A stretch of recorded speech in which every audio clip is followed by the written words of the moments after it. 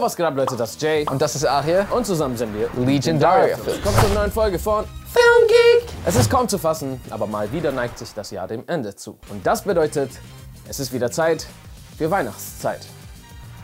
Zeit. Und einer der vielen Klassiker der Weihnachtszeit ist natürlich Home Alone, aka Kevin allein zu Hause. Die Story, die sich um den kleinen Kevin McAllister dreht, der zu Weihnachten zu Hause vergessen wurde, während seine Familie ohne ihn in den Urlaub fährt. Und naja, so wie das halt läuft, gibt es seit diesem Jahr auch eine weitere Fortsetzung dieses Filmes, nämlich Home Sweet Home Alone oder auch Nicht schon wieder allein zu Hause. Und wie ihr es euch schon denken könnt, gehört dieser Film nicht unbedingt zu der Creme de la Creme der Filmwelt. Um genau zu sein, gab es bei Rotten Tomatoes ganze 18% und bei IMDb immerhin eine 3,5. Die Frage ist natürlich, was diesen Film jetzt so unterdurchschnittlich unterhaltsam macht.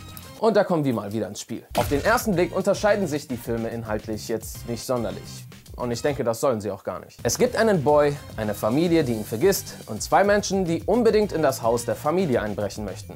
Alles wie gehabt. Die ersten Fragezeichen kamen bei mir jedoch, als man den Boy, sein Name ist Max, und seine Ma das erste Mal in der englischen Originalfassung sprechen hört. Okay, well, you'll just have to wait till we get home then. You sure about that?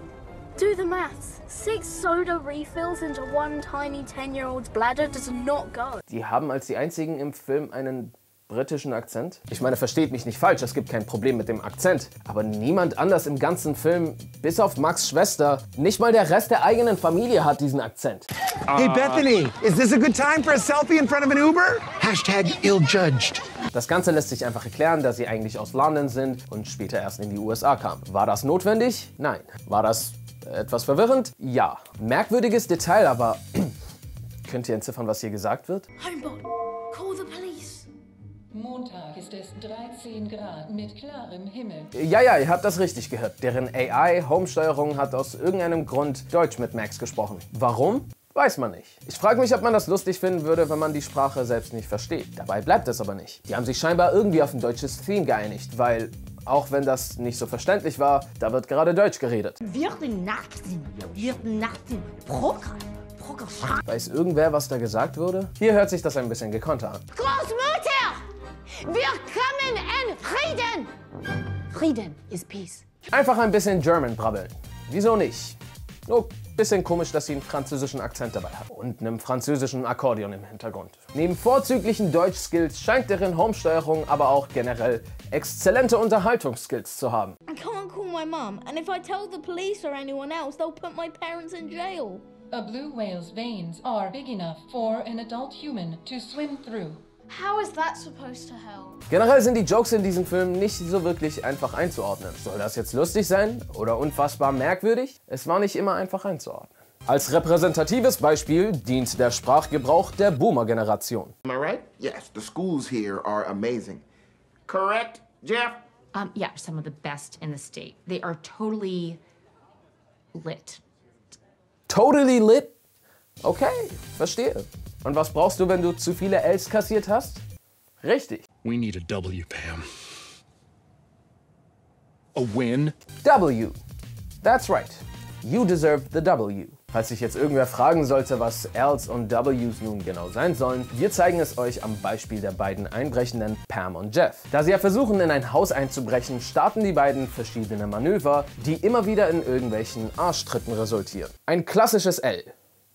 Kurz für Loss. Max im Gegensatz kassiert die meiste Zeit Ws, also Wins, weil sie die Arschtritte von ihm kassieren. Capisce? Mehr dazu bei John Arias Boomerslang Crashkurs auf www.johnarias slash crashkurs slash boomerslang slash diesen Kurs gibt es nicht in Wirklichkeit.com. Immer kurz eine andere Frage. Wie hört sich das eigentlich alles auf Deutsch an? Ja, die Schulen hier sind fantastisch. Nicht wahr, Jeff? Ja, einige der besten in der Region. Sie sind total lit. Gut, ich würde mal behaupten, auf Deutsch ist das mindestens genauso unangenehm. Will ich dann überhaupt fragen, wie es mit der W-Szene aussieht? Wir wollen aufs Treppchen, Pam. Wir wollen gewinnen. Wir wollen aufs Treppchen. Okay. Das Ding ist hierbei, und das muss man ganz klar sagen, die deutsche Version konnte gar nicht gewinnen, also egal, was sie hier gesagt hätten. Und es hätte um ein Vielfaches schlimmer kommen können. Sie hätten nämlich zum Beispiel auch sagen können, wir wollten das W. Aber keine Sorge, für unangenehme Momente wurde auf jeden Fall noch gesorgt. Beispielsweise in dieser Szene, in der Leuten ins Gesicht gefurzt wird. Wollen wir den Clip wirklich abspielen? Ja, let's go, sonst denken die, ich lüge.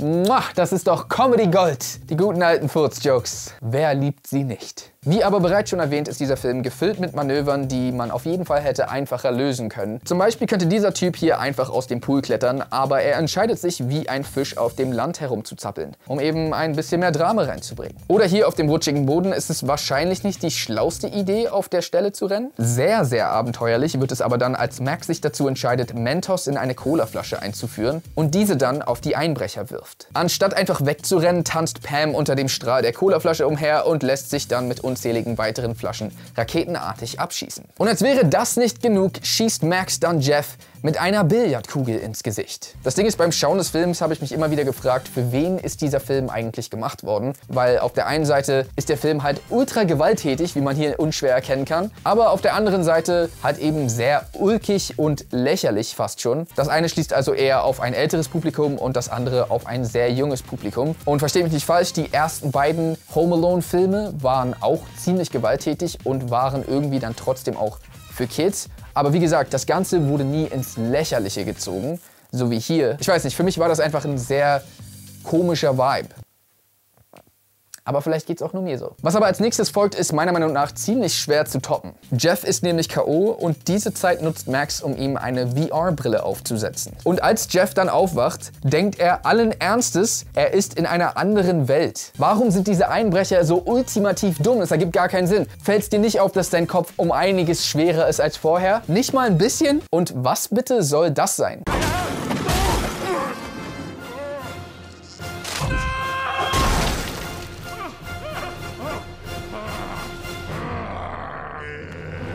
Okay, ich muss erstmal wieder runterkommen, denn es gab tatsächlich auch ein paar Momente, die ich sogar persönlich ganz unterhaltsam fand. Zum Beispiel, dass Schauspieler Devin Rattray, aka Buzz McAllister, also Kevin McAllisters größerer Bruder, seine Rolle in diesem Film als Polizist einnimmt. Dieser glaubt ironischerweise, dass ihm sein Bruder Kevin pranken will und daher ermittelt er nicht wegen des Einbruchs im Haus von Max Familie. Nice try, Kevin. Nice try. Außerdem sind hin und wieder Kommentare sogar ganz witzig, wie zum Beispiel als Max Mutter im Flugzeug einen nervigen Sitznachbarn hat, der ihr die ganze Zeit auf die Pelle rückt. Sorry. Am I looking at your screen? Yes. Oh, okay. I didn't even realize I'm doing it. Classic. Classic. Oder als sie realisiert, dass Max nicht bei ihr ist und der Onkel dann so reagiert. You do realize that because of you, I'm in Japan and my 10, 10 year old son is at home by himself. Yeah, first world problems, you know. First world, stop it! Nichtsdestotrotz wird man das Gefühl nicht los, dass diese ganzen Schwierigkeiten auch hätten vermieden werden können. Pam und Jeff wollen nämlich die ganze Zeit nur ihre wertvolle Puppe zurückhaben. Aber, und das ist jetzt der Twist, die Puppe hat nie das Haus verlassen. Ihr Vollidioten. Sorry, aber Come on. Die feuchten Banditen waren teilweise auch extrem dumm. Aber das ist Next Level Stuff. Hättet ihr nicht einfach den Jungen fragen können? Ganz normal lieb. Hättet ihr nicht die Mom anrufen können? Hey, hat er die Puppe genommen? Nein? Yo Max, was mit der Puppe passiert? Ist zu Hause? Ah, cool. Problem gelöst. Film vorbei. Sorry.